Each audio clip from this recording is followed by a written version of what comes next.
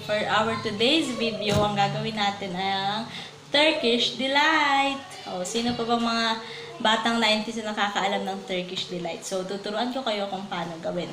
Ang kailangan natin is rice flour, 1 cup of rice flour, 1 half sugar, 1 half cup of sugar, then 1 4 cup of gulaman. Ito is, yung nakuha ko is strawberry flavor na. Then, oil siya for greasing na lang yung container this. Water. So, tuturo ko sa inyo kung paano gagawin. Sing bowl, ilagay nyo na yung rice flour. Yung 1 cup of rice flour. Then, next, yung 1 half cup of sugar. Then, yung ating gulaman. So, ang ginamit kong gulaman is ito. New Crystal Strawberry Jelly. Yan. Then, imimix muna natin ito.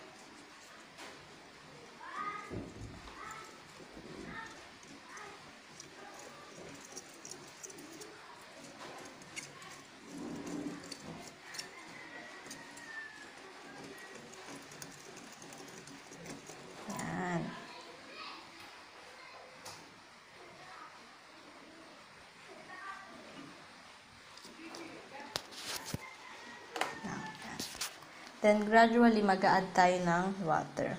Warm water. Hindi boiling, hindi rin cold. Tapos, i-mix natin uli.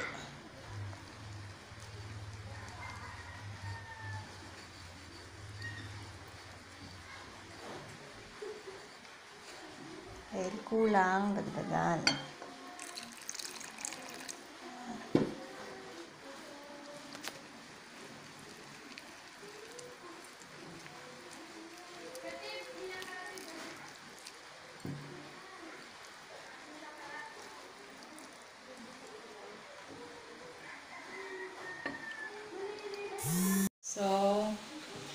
Guys, ang nagamit kong water is 1 glass.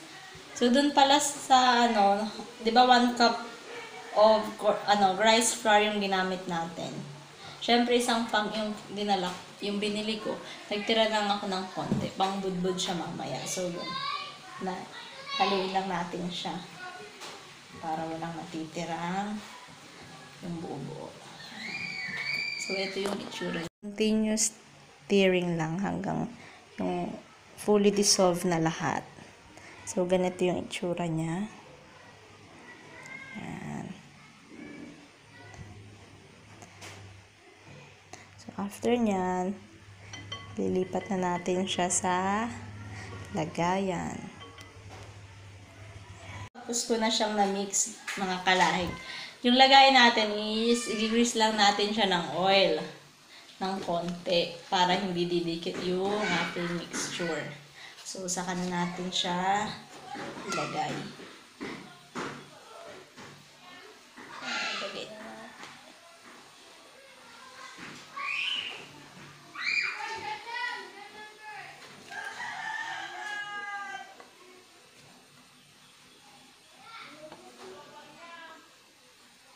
So, yan, ilagay na natin. Next is, steam natin ito for 35 minutes. So, see you later. Yan, 35 minutes na natin siya steam. Patayin na natin, tapos ilalagay natin siya sa ref mamaya. Na siya, mga kalahi. Lagay na natin siya sa ref. For 35 minutes din.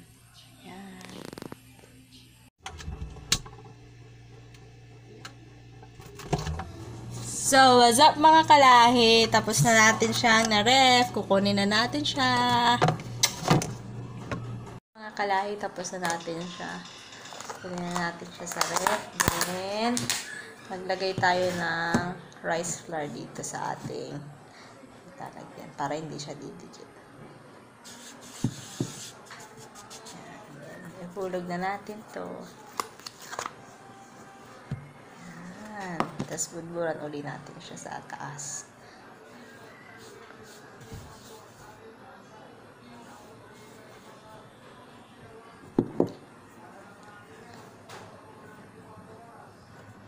Ito siya mga kalahi. Yan.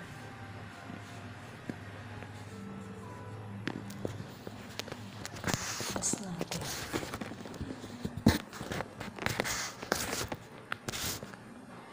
Yan. Ito na siya.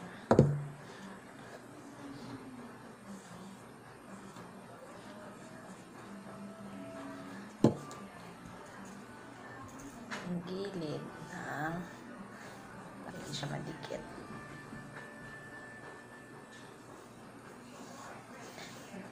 Tapos, saka natin chachap.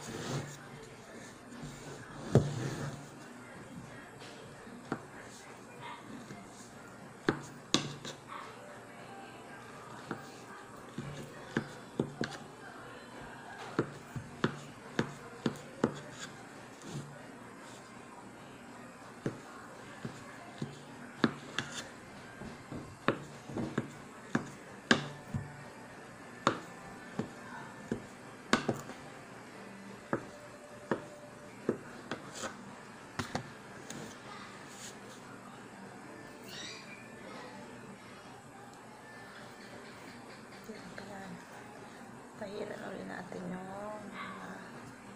gitna.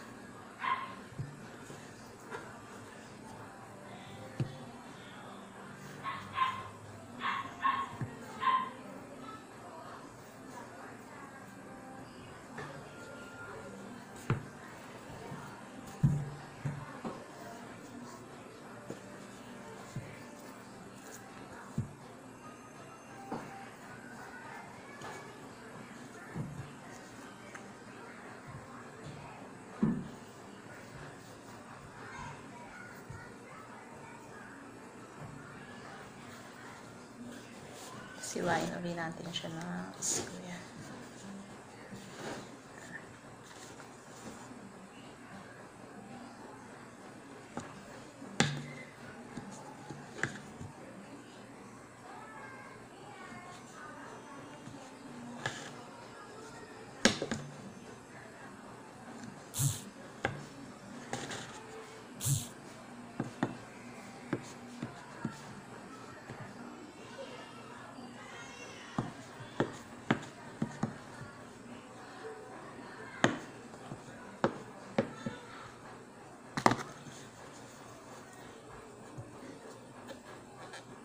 So, yan. Tapos na ang ating Turkish Delight.